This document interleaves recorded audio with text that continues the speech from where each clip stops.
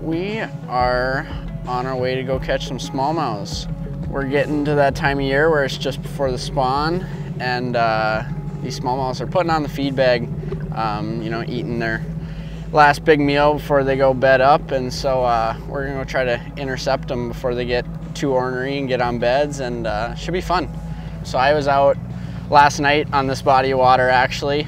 I was kind of just poking around the shallows, kind of figuring out where exactly they were at because these smallmouths are sliding up from super deep water into shallow water. And so trying to find them can give you a little bit of a fit. And so I was kind of scanning around in the shallows and actually started seeing some smallmouth show up on my screen and I noticed that they were on transitions. I'm always trying to find transitions and this particular spot was on an inside rock spine and went from rock to sand in about five feet of water. And so I dropped down my trolling motor and the nice thing about using Mega 360 is I can drop the trolling motor down and without driving over the spot, I can see the rock spine. And so that's super beneficial compared to driving over the spot, marking it with my waypoints to see my rock spine, and then going back and circling back around and fishing it because I've already driven over those fish. And especially in five feet of water, you're gonna be hard pressed to you know, keep those fish there when you're in such shallow water. Once you get a more distinct line of rocks, um, at least last night, I could see on the Mega 360, there's a big line of rocks to my right, and then I was just lining up the boat right on the transition line and I could just see the shadows about two to three feet on the inside of the rock line. And I could tell that they were fish. Number one, because I could, I could see a little white streak with the shadow underneath. And two, every time that this 360 updates, the shadows would move. They would be in a different spot, which is pretty, pretty neat. And so I actually have my graph speed just about all the way up just so I can keep updating as fast as possible to see where the fish are at which is pretty important because I don't want to be casting where they were. I want to be casting where they are. My range is set at 70 feet, and so I'm, I'm casting what I think is roughly about 70 feet, letting it hit bottom and then slow rolling it back every once in a while. Tick the bottom. That one actually just hit a rock with it, and then it's just dead weight. Not a big one, but he got it good.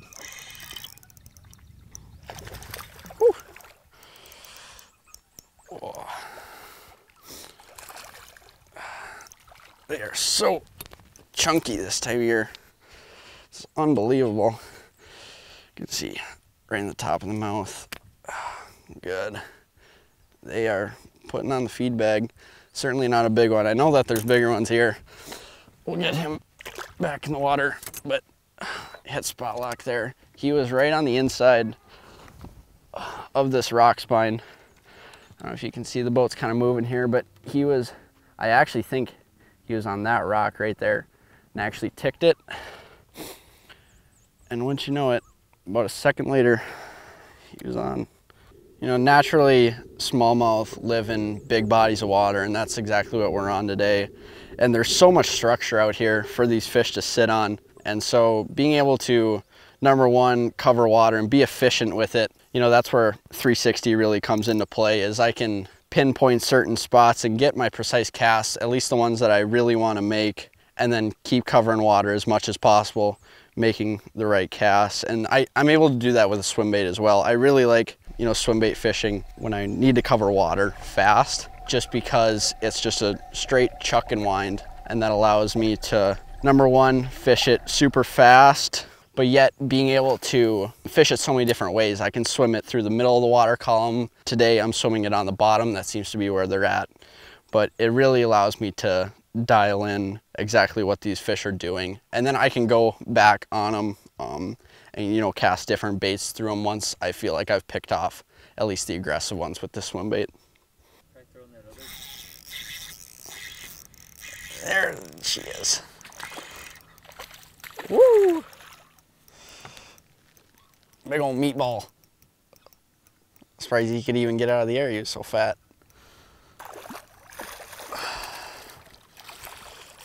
He got that thing T-boned. Oh, come here, come on. Oh, open your mouth. There she is. Down the hatch.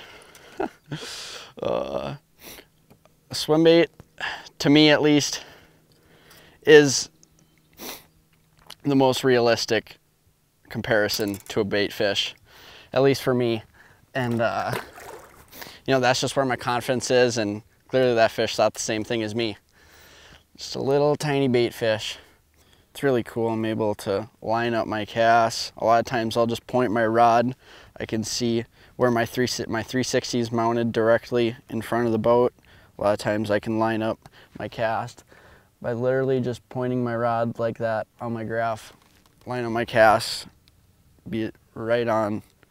It's super important to be precise because I mean if you're if you're five feet off, that fish won't always swim five feet over to get it. A lot of times especially with smallmouth.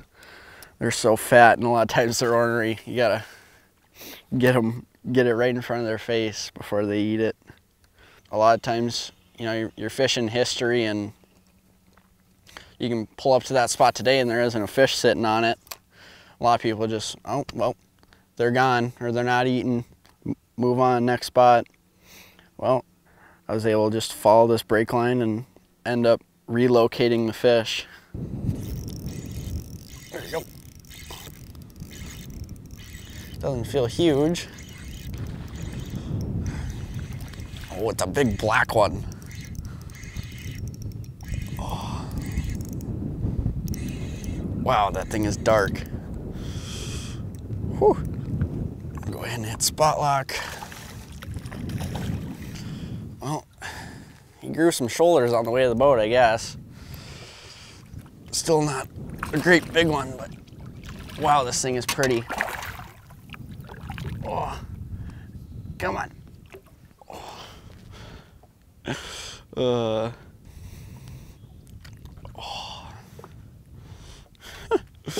uh. He had that thing choke too.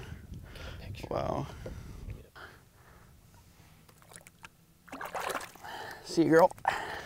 You can throw a finesse swim bait on a whole plethora of different rod sizes, reel sizes. Um, but for, for me, um, I like something right in the middle. This is a seven foot medium and then paired with a 3000 size reel that allows me to make nice long casts, a lot of line pickup really fast. I also have just an eight pound braid tied to an eight pound um, fluoro leader and that also allows me to make super long casts super nice. I can feel a lot of sensitivity with the braid, um, you know, around these rocks.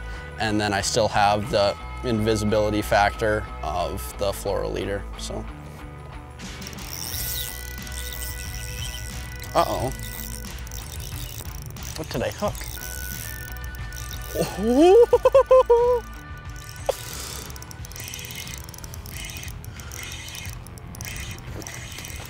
Woohoo! She's putting on a show. God. I get so excited over these brown bass. Oh, I love these things. They take you for a ride, that's for sure.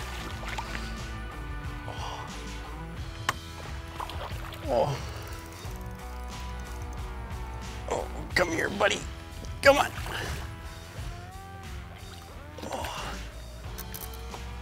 Come on. Oh. There we go. God, they're so fat. Oh. Moving up. uh, God, I cannot say enough about brown bass. They are, they are my favorite, I must say.